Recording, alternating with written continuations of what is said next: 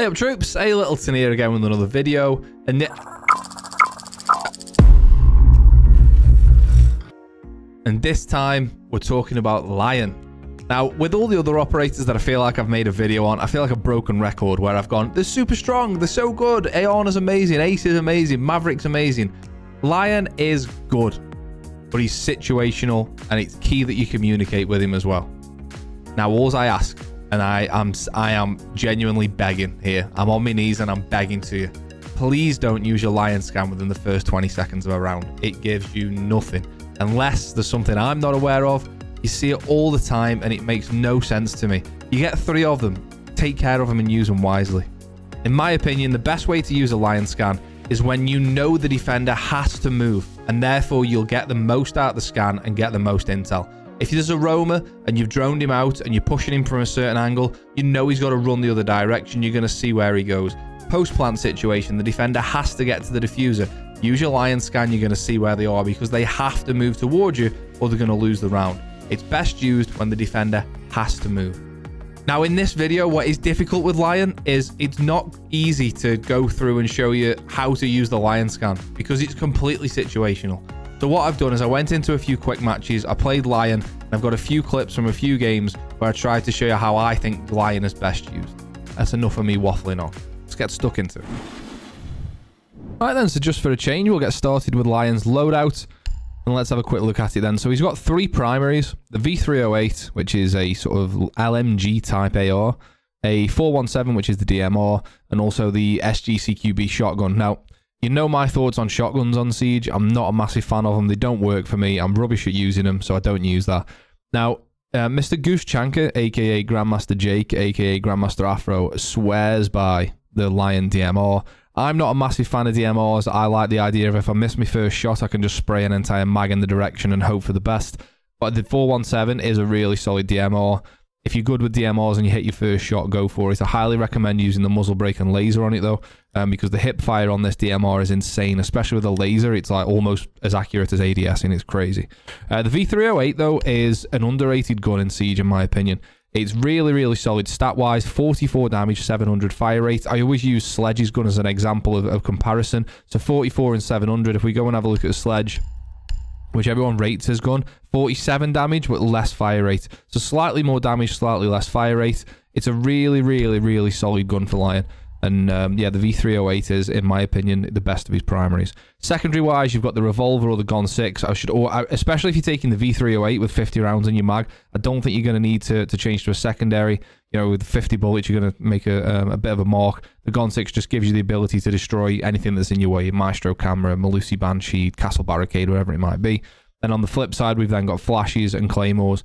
Now, in the next patch, apparently on the test server at the minute, there's going to be two claymores that, that comes with having with taking the claymore these days.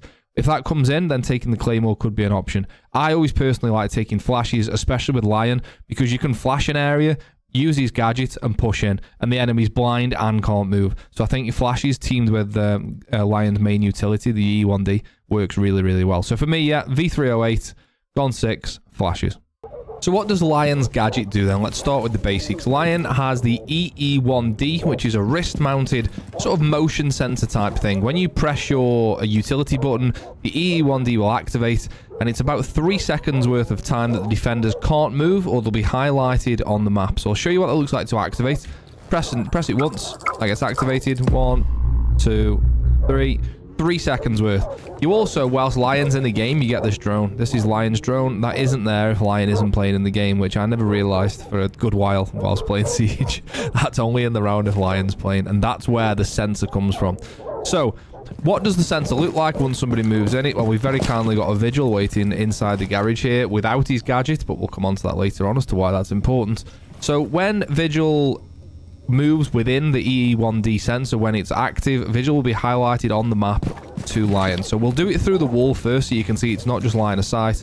So we activate we activate the E1D. Vigil's going to move inside. As you can see there, it highlights where he is. He's 7 meters, 9 meters away. And it'll be up there for the duration of the scan and then a little bit after. But that then isn't a live ping anymore. You'll see that Vigil, I haven't moved him, but if I move Vigil, you see how that wasn't exactly live there anymore. It lasts for a while after the scan, but the last live ping, I'll show you one more time. so we can actually see it this time. So Vigil's going to be moving around. He gets live pinged as he's going. And then when the scan stops, the last ping, the third ping, will be exactly where he was at that time. But now he's moving.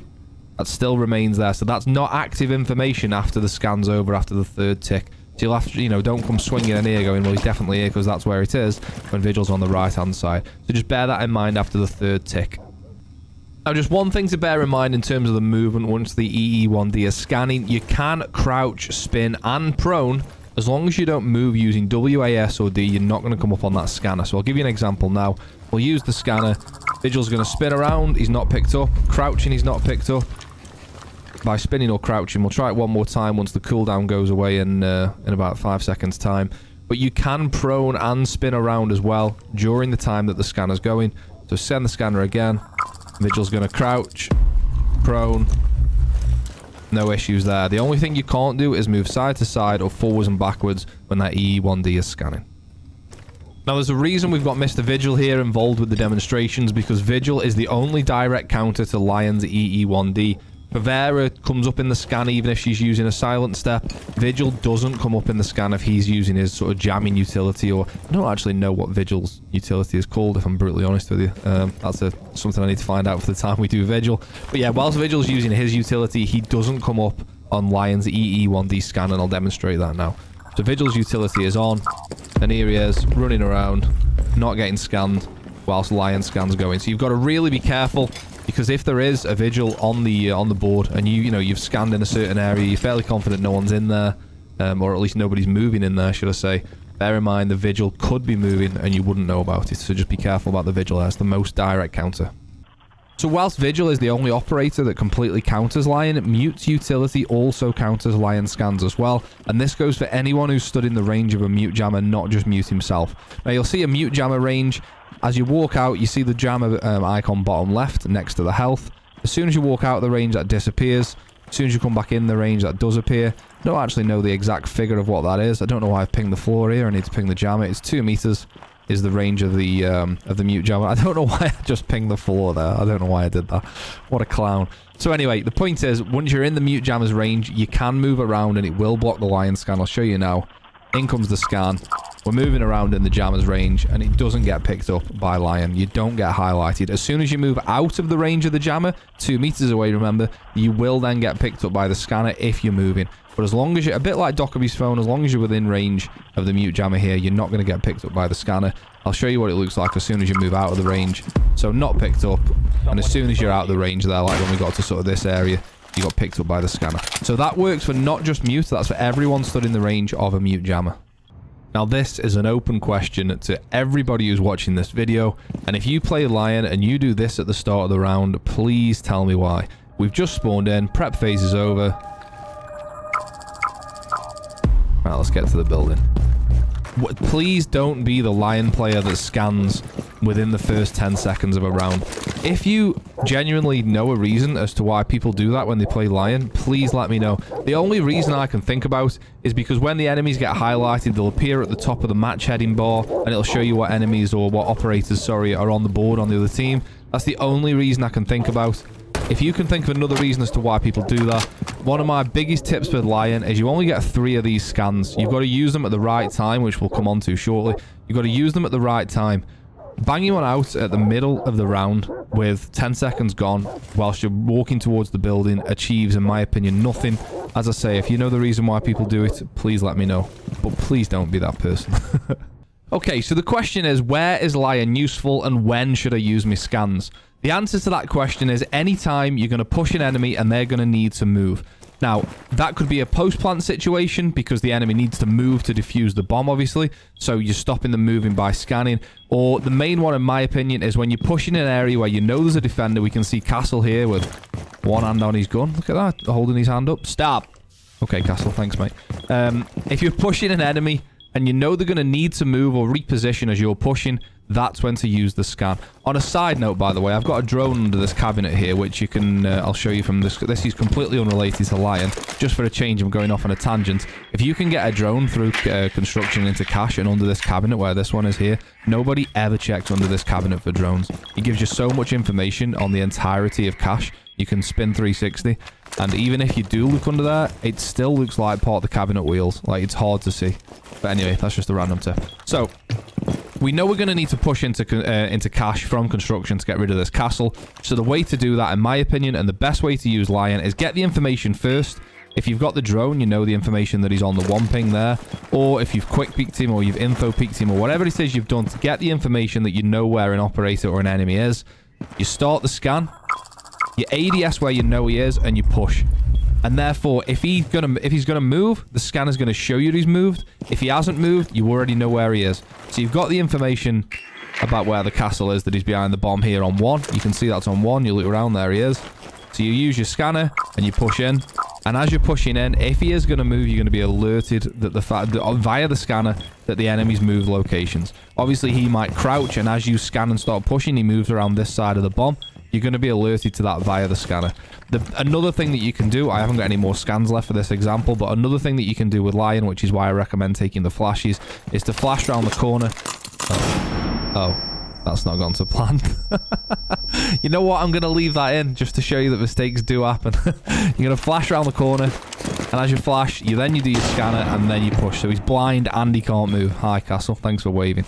Yeah, I'm sorry about that, the flash there. That didn't quite go to plan. Okay, so in the po- Oh, sorry, I just forgot. Let's shoot the radio. So in the post-plant situation, Lion is also really useful, and the reason for that is because the defenders have a certain amount of time, depending on what how long the plant's been down for, before they can defuse or they lose the round. Because of that, they have to move, and they have to move and push the area towards the diffuser. So if we just plant here... Bear with me a second, let me just put the codes in. Password secret 123. Job done. Uh, and we go back to here to hold the diffuser or whatever it is we're playing. The Frost then has to move towards the diffuser, okay? So the Frost is moving from cash. You saw her before. If I stick a drone out, you'll see. We are on a time limit here.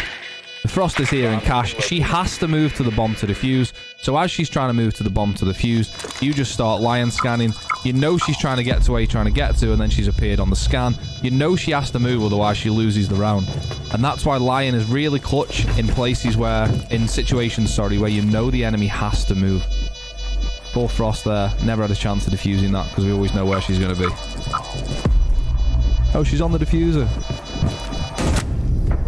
So in situations where enemies have to move, Lion is really useful. So you'll notice we're on the defensive side of things now when we're playing top red stairs. Matey Lion here is at the bottom of red stairs. Now what I'm going to show you here that you need to be aware of isn't a completely usable strat in every scenario and like most things most most things like most things I've poppycocked it like most things in Siege, it's subjective and situational. So, Lion's gadget is actually quite loud from the defender side of thing as well. It's almost the same sound that Lion and the attackers hear. So, that sound can mask footsteps in certain areas of maps. So, if we just listen to what it sounds like from a defender's perspective... It sounds almost exactly the same, or maybe even exactly the same as what the attackers hear. However, that sound can mask pushes up certain areas of maps. I don't think you should rely on it, but if you need to get out of a squeeze, you can do that. So we know Lion's bottom red stairs. If we use his scan again, and then we'll see what happens if we, we try and listen to him coming up the stairs, and let's see what happens. So there goes the scan. So you the, the, the sound isn't sort of completely, uh, completely gone. But however, if I uncrouch on my keyboard on the other side here, your boy Lion's at the top of the stairs. I mean, we barely even heard it. Bear in mind that in this situation, there's going to be people on the breach. There's going to be people on CC window fighting for rafters, fighting for uh, for cash door from Con over there. So it's not the only piece of sound that we're going to hear. You know, there's going to be a lot of other things going on, and the sound of that scan can mask out quite a few other things. So, again, I don't think it's a completely viable strat every time, but it's just something you probably need to be aware of. Cheers, Lion. So this is something we've not done before in terms of me talking over a clip that I recorded earlier, but that's what we're going to do. Uh, there is a bit of dead space at the beginning of this video. Um, you can hear the SMG-11 that's over in cash. Um, and know that there's fears in a fight with that. It's a 2v4. I can't really push through into waiting because I know that the SMG-11 is behind me. After a few little exchanges between the Zofia and whoever it is, I don't know at this moment with the SMG-11. I don't know if it's like a smoke or a mute. Lesion bowls through for some bizarre reason and gets smoked. I know this guy's then going to peek me. Thanks very much. I knew that was going to happen. And at this point now it's a 2v2, so it's actually winnable. So I'm starting to think now, how can we use drones and lion scans and utility to actually get onto the site? Um, we don't have the diffuser, which is a bit of a problem. I lose my drone there, which is a bit stupid of me, but there you go. Um, so yeah, 2v2, I'm going to push through the door. So we scan there so we can get the uh, get through there a bit more safely. Peek the common angle over the bomb, pre-fire it, nothing there. Peeks the bomb again, GM. Now we're in a 1v1, uh, sorry, a 2v1. So we've gone from a 2v4 to a 2v1. Um, we, I know that the other person's over on um, on bunk side there, and I try and peek the door, and I get smoked, but it nearly worked. On to a theme park example now, and this one is... It, Lion is really good when you've got more players up than the other team. So we're a 5v2, so it makes it a bit easier to be brutally honest. I'm about to push into showers. I don't want to be swung from uh, from storage there, so... Um, we get the ping. You can see that there. I probably should have killed that player there. That's my bad, really. Um, so we know they're in that area. The map line's done his job there. The utilities work. We're going to push around a little bit further, try and get the kill. He comes on that side the door. 2v1. Lion again. Really strong operator in this circumstance. I hear at this point that I'm playing with a Monty.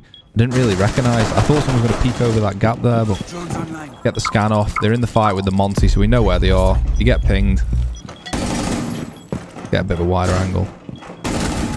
And that's exactly where Lion's strong. We had the ascendancy.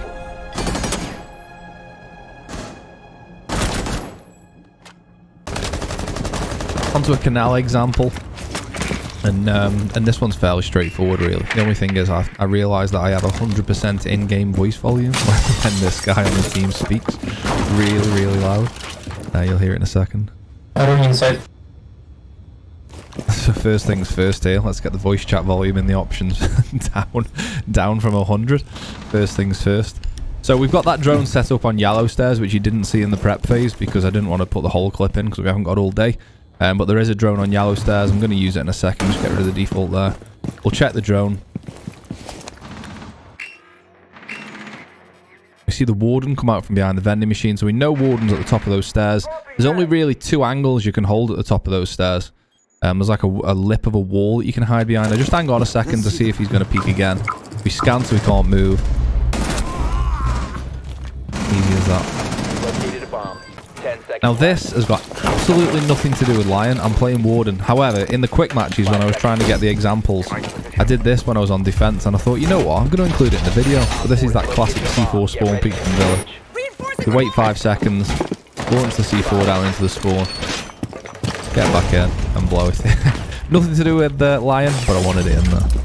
So there we have it. That's Lion. Not a super strong operator like I feel like I've been saying all the time, but a strong operator. And when used correctly, is really effective. So for those of you that don't know, I stream on Twitch every Monday, Tuesday, Wednesday, and Friday at 8 p.m. UK time. There's been quite a few of you who've come over to the channel, and I really appreciate it. So if anyone else wants to come over to the Twitch channel, come and say hello. Thank you. We've done Lion because there was a couple of requests for it in the last couple of videos. So as always, if there's someone that I haven't done yet that you want the operator doing, get it in the comments below and I'll add it to the list. But that wraps things up for today. As always, a massive thank you for watching and I'll see you next time. Cheers.